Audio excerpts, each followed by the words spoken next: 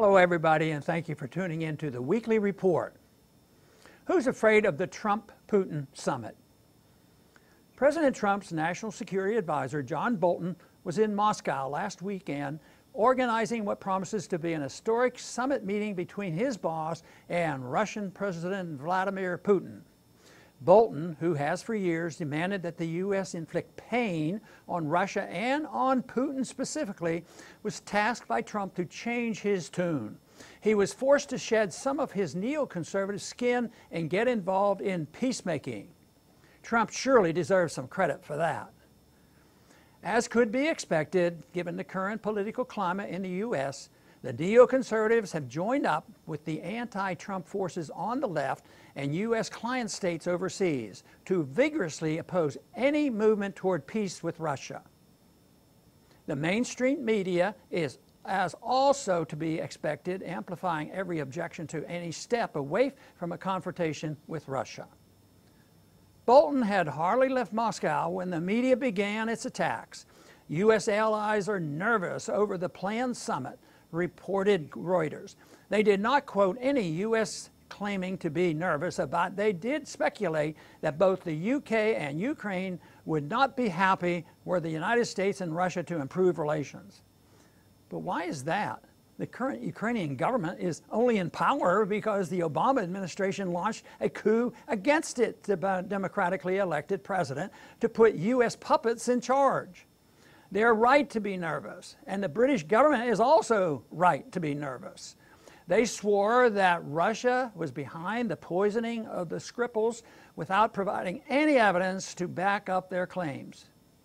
Hundreds of Russian diplomats were expelled from Western countries on their word alone. And over the past couple of months, each of their claims has fallen short. At the extreme of the reaction to Bolton's Russia trip, was the U.S. funded think tank, the Atlantic Council, which is stuck in a 1950s time warp. Its resident Russia expert, Anders Aslund, tweeted that longtime Russia hawk Bolton had been captured by the Kremlin and must now be considered a Russian agent for having helped set up a meeting between Trump and Putin. Do they really prefer nuclear war? The experts are usually wrong when it comes to peacemaking. They rely on having official enemies for their very livelihood. In 1985, national security expert Zbigniew Brzezinski attacked the idea of a summit between President Reagan and Soviet leader Mikhail Gorbachev. It was demeaning and tactically unwise, he said, as reported at the time by the Washington Times. Such a meeting would only elevate Gorbachev and make him first among equals, he said. Thankfully, Reagan did engage Gorbachev in several summits, and the rest is history. Brzezinski was wrong, and the peacemakers were right. President Trump should understand that any move toward better relations with Russia has been already pre approved by the American people.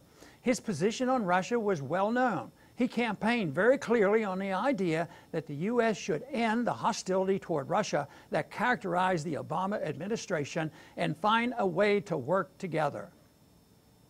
Voters knew his position and they chose him over Hillary Clinton, who was also very clear on Russia, more confrontational and more aggression.